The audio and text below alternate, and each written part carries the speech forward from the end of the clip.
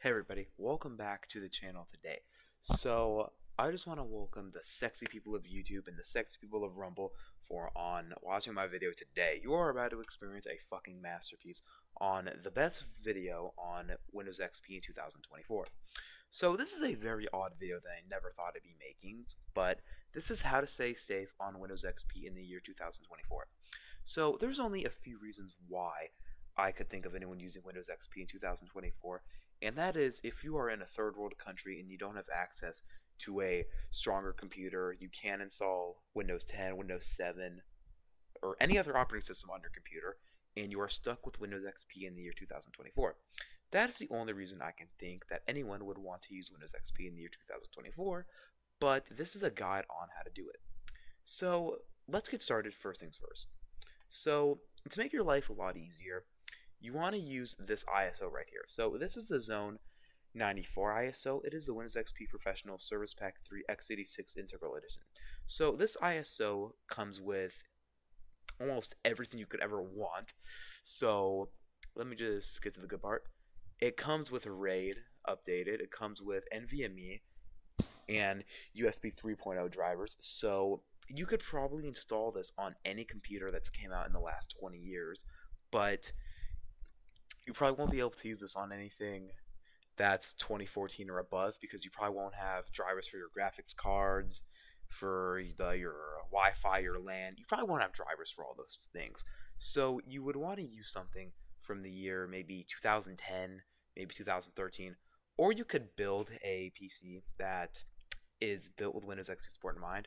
The best graphics card for XP is a, a 980 Ti that can work with modified drivers, but you can actually build a pretty decent Windows XP rig. But this is the ISO you want to download. Now, I'm not usually one for for ISOs that have been tweaked with that aren't from the actual disk, like who aren't from the developer themselves. Like, I would not recommend people to download a ISO for Windows 10 or 11 that isn't from Microsoft but in this case, we're talking about a 23 year old operating system.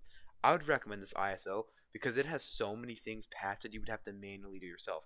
You would have to patch APCHI, you would have to integrate NVMe, USB 3.0. This ISO just has everything compacted, and this only works on x86 because the 64 bit version of XP does not work that well. But enough talking about the ISO, let's get into the spicy stuff. What can and what can't you do on this OS? So let's go over what you can't do. You are not running any game past the year 2013 on this thing. This uh, this OS is good for retro games and the games of its time. It only has DirectX 10 support, not even DirectX 11. So you're not really going to be running any modern games or any modern programs on this version of XP. But that is not to say you cannot do modern web browsing on this operating system. There's this web browser made by the same person who made the Windows Vista extended kernel Win32. He made a web browser called Supermium, which is basically just Chrome backported to older versions of Windows. So Supermium goes all the way back to Windows 2000. Yes, you heard that right. You can run this on Windows 2000 and you can browse the web perfectly fine on it. So let's go on over to the Supermium website real quick. So he has been supporting Windows XP for about one year now, I would say and it is a pretty stable web browser. It runs perfectly fine in Windows XP. So as you can see, this is XP. This is not a skin or anything. This is full Windows XP Service Pack 3. But I would consider this Service Pack 4 from the ISO I'm using because this person has integrated so much into the ISO that I would consider it a whole other, a whole new service pack because you're getting updates all the way up to 2019 by the way too.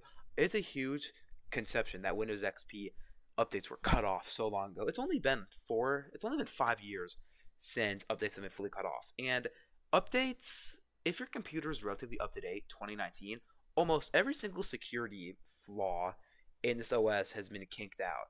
It is very hard to get hacked if you are running a modern firewall on a modern web browser. If you're if you still have the same Wi-Fi infrastructure for like 20 years, then maybe.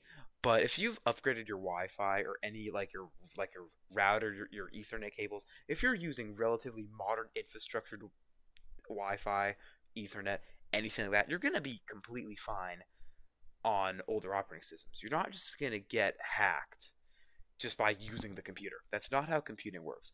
There's a basic thing called a firewall, as I just said, but there's also one that's on the computer level too. So if you go to control panel, not really too familiar with XP. I don't. Okay, here we go. Windows Firewall. I knew it was there somewhere. So by default, this ISO does not enable the Windows Firewall, which I think is a huge security risk. So I'd recommend turning the firewall on. That is the first step you can do to staying secure on Windows XP. So we're going to go into security here. So number one, you want to have your firewall on. Okay, don't allow any exceptions. So select this when you're connected to public network, secure sensors, airports. We not be notified. Press blocks program. So this should not block anything like like web browsers or anything like that. But you want to be able to have a, a good secured firewall that is not going to get breached through. And Windows Firewall will mostly get that part done. So I want to debunk this video that's on the internet too about this guy who connected Windows XP to the internet in the year 2024. A lot of people say, "Oh, he got malware within within 8 within like 10 minutes of him being connected to the internet." I just want to state that this guy had his firewall turned off, even on the hardware level too. He had his hardware firewall turned off and his internet firewall turned off, and he was running Internet Explorer 8. Of course, if you did that to Windows 10 or Windows 11, you would suffer the same outcome. If you had every single firewall disabled, you're gonna get hacked no matter what operating system you're using. That's like tearing all the walls and all the doors to your house down and seeing how long it takes for you to get fucking robbed. I mean, it's not necessarily like Windows XP was given a fair shot. If you watch the video from Some Ordinary Gamers, he tested this theory where he set up a Windows XP virtual machine, opened Internet Explorer, and waited to see if he got any malware on the system. And he had just the basic firewall turned on, and he got no malware. So it is damn near impossible to get malware just from doing nothing. If you get malware on your computer, 99% of the time it is your fault. It is damn near impossible to get hacked by twiddling your thumbs. So anyway, let's look at this web browser right here. So as we can see, a lot of them have been, came out. There's been a lot of versions. This web browser has been an ongoing project for the last few years from Win32. But let's go to the actual website.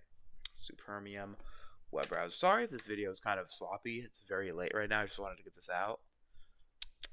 This person should have a website. I'm pretty sure Win32 had a website. Where's it at? Okay, well, I guess the website's no more. Maybe switch permanently back to GitHub, but this web browser works fine. I just wanted to give you guys like get some information. Up to date. Oh, here we go. An up to date Chromium-based browser compatible with Windows XP 2003 Vista without the extended kernel. By the way, this will work on stock Windows Vista 7 and 8.0 and 8.1. So this web browser basically runs on any version of Windows that has came out in the last 30 years or the last 25 years, which is crazy to think about. Would I recommend using Windows 2000? Hell no, but if you're crazy enough, you could. So, Supermium is definitely the best browser I would recommend. Now, one browser I would keep an eye for, and this is based on Firefox, it is called R3DFox or Eclipse.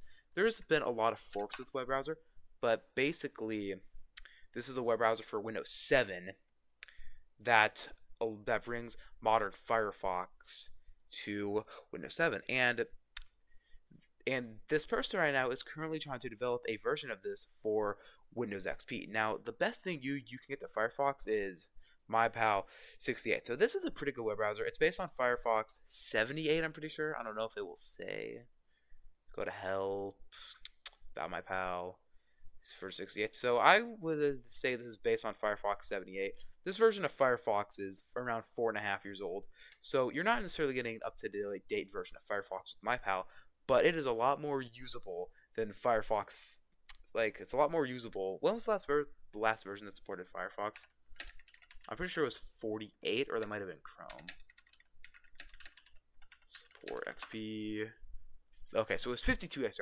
So this is based off Firefox 78, and this is based off version 52. So 52.90 came out in 2018, and this was the last version of Firefox to ever support Windows XP. This web browser is based off a 2020 release of Firefox, so you're getting a pretty good Firefox work. A lot of website work. So if you go to Reddit, everything works fine. We can go to youtube.com. Everything on this and didn't even type it in. Okay. So this is a bit buggy. That's one thing I don't like with MyPal. It is pretty buggy. It is not the best browser to use now. I would recommend Supermium over MyPal any day. But for a while, MyPal was the best web browser to use, best web browser to use. God, I gotta get to bed. But I would recommend Supermium because it is completely stable from every test that I've done.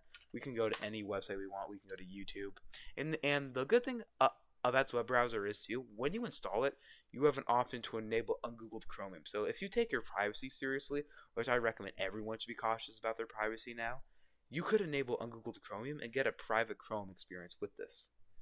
So let's try YouTube Shorts because that's what everyone fucking wants. Let's watch Brain Rot. Let's see if that works. Okay, that's a copyright strike. Okay, yeah, I love copyright strikes. So those are two web browsers. You can. I don't know why I closed it. I have more things I have to load, but those are two more things you can use, or two web browsers that work perfectly fine on Windows XP. So let's get into some programs that I recommend. And this actually comes with recommended programs. So if you're going to be using this as your day-to-day driver, I would imagine you probably want a Office suite. You can get an up-to-date Office suite called OpenOffice, which basically has everything Microsoft Office 2010 would have. I would recommend using OpenOffice over something like Office 2007 or Office 2010 because it's more up to date. You have more fonts and and compatibility with a updated version of OpenOffice is probably going to be way better than a 12 year old version of Microsoft Office. So you so this works perfectly fine, even without any API modding, without one core. Like this could work on a Windows XP computer with updates just to 2014. And the and the same thing goes for Supermium. You do not have to have the POS updates up to 2019 for this to work. Every program that I am listing in this video could work with base updates up to 2014. So let's let that download. And it's probably best practice. Me, myself, I don't necessarily use antivirus because I find it to be a waste of CPU cycles. But if you're using Windows XP, you probably want to be safe as possible. Better be safe than sorry. And I actually do have a lot of good things to say about PandaDome. I feel like they're a very efficient antivirus. From my from my from my experience using PandaDome, I used to run PandaDome on my computer as my main antivirus, it definitely takes up a lot less CPU cycles than something like Avast, AVG, fucking Kaspersky, which is banned now thanks to the Joe Biden cheeseburger villain. you can't even fucking download antivirus that antivirus anymore. So yeah, thanks Joe Biden, you're the best president ever. I love paying twenty six thousand dollars a gallon for gas. Ooh wee, my favorite. And now my dog wants to sound like a grizzly bear. And today's quite the night so far. So let's get PandaDome downloaded, just so we can have some sort of baseline security on the system. And I still find it funny that a lot of modern antiviruses still have compatible builds for operating systems like XP and Vista. So let's get that antivirus downloaded. Let's get Apache OpenOffice downloaded. Run, install, unpack. So it's not really too hard to survive on Windows XP if you know what you're doing. If you watch a lot of videos on Windows XP, a lot of people fail to mention Supermium which is like the best web browser you can use on older builds. A lot of people will point to MyPal, even New Moon. Like these people are recommending New Moon, which has been discontinued since Drake's son was a sperm cell. I don't know why people still recommend New Moon. Do not use that. It is completely out of date. You can't even load basic sites like YouTube. Like it is not a good web browser. If it was updated, maybe it would be good, but it's just not that good the only scenario you would need to run New Moon is you have if, if you have like a completely dog shit computer that can't even handle a basic web browser. Like at that point, if you have to run New Moon as your web browser, your computer probably can't even handle Firefox 52 ESR. Like that's how lightweight that web browser was built in mind for. So don't use New Moon, don't use Firefox 52 ESR. Either use MyPal 68 or Supermium. These are the only two web browsers you should be using. And also that other web browser I mentioned, RD3D Fox, is in the coming builds. I would imagine the Windows XP support for that web browser would be getting a lot better. So I would definitely keep my eye on that. If you are a Windows XP user and you don't like Chromium all that much, I would definitely keep my eye on that web browser because I feel like it's definitely going to be a web browser that will be worthwhile because it's based, off Firefox. So let's open up op- OpenOffice here. If it loads. Yeah, this virtual machine's slow just because I allocated only 2 gigs of RAM. So it's going to take a while. And it's on a hard drive too. A 5200, a 5200 RPM hard drive at that. So going to take a second to open here. And I'm downloading the antivirus as well. Okay. All right. All right, so we're so we're getting PandaDome up and running. Our Office suite ever runs. Oh, here we go. So just you know the welcome guide, forename, shit. No, that, how did I get a whore? Shit, stain. It's gonna be my name. Initials SS for shit stain. Finish. And you can basically do anything with this Office suite that you'd want to do with Microsoft Office. So, say for example, if we want to write an essay on why, I don't even know why. Just say you just wanted to type fucking the, the Constitution backwards or something like that, you could do that perfectly fine with oh, with Open Office. So we're just gonna say, um, jeez, the fucking this is the autobiography of cheese. I don't know. So we're gonna save this. We're going to save it as a ODT format, which you could save it as a dot .doc. That would work. But ODT can be read by any Office suite that's came out in the last 15 years. So head to our File Explorer, by Documents, Document 1. This could be read on a lot of computers. So you can do modern web browsing, you can do documents. So basically, if all you wanted was Office work, okay, it wants email. So we'll get that set up later. But if you just wanted to do office work on Windows XP, you could easily do that with a up-to-date web browser like Supermium or MyPal. It's very easy to use Windows XP in 2024. You just got to know what to download and who to get your advice from.